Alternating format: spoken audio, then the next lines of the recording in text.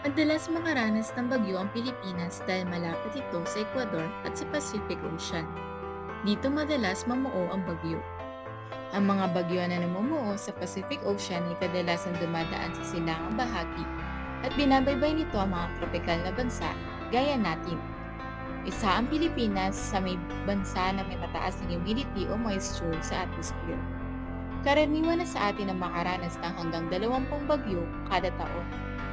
Ang pag-asa ang nakatutok at nagbibigay ng pangalan sa bawat bagyo. At inuulit muli ang mga pangalang ito kada tatlong taon. Epekto na rin ng climate change sa pagbabago ng klima ang pagdami ng bagyo na ating nararanasan. Balikan natin ang mga bagyo hindi natin makakalimutan. Una ang superbagyong routine.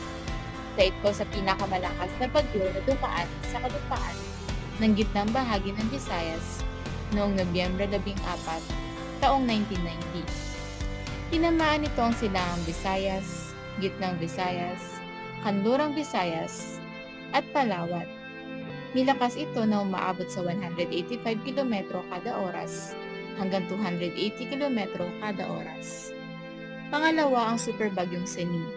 Ito ay tumama sa Pilipinas noong October 1970 at ito ang ikasampu sa mga deadliest typhoon na dumaan sa Pilipinas bago pa ang superbagyong Yolanda. Pangatlo ang superbagyong Yolanda. Ito ang pinakamalakas na bagyong dumaan sa kasaysayan ng Pilipinas noong Nobyembre 8, taong 2013. Namuo ito sa karagatang Pasipiko noong November 5. Ito ang kasunod sa deadliest typhoon pagkatapos noong 1881. Maituturing na dilubyo na may kasamang daluyong ang Yolanda.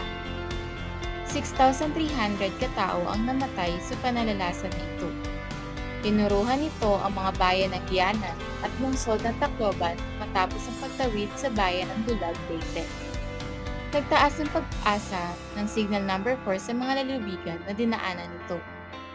Pang-apat ang superbagyong Kadim Tumama ang bagyong Kading noong October 1978 sa Kabikulat. At ang huli, ang superbagyong Pitang. Ang superbagyong Pitang ay ang nagda- nagdaang bagyo bago pa dumating ang superbagyong Semi, na parehong nanalasan noong taong 1970 sa Pilipinas. Ang mga bagyo ay nagsisimula sa mga buwan na maaga pa sa Mayo at kalimitan na nagtatapos sa buwan ng Disyembre. Sa kasulukuyan, lumalakas pa ang mga ito sa buwan ng Hulyo hanggang Nobyembre.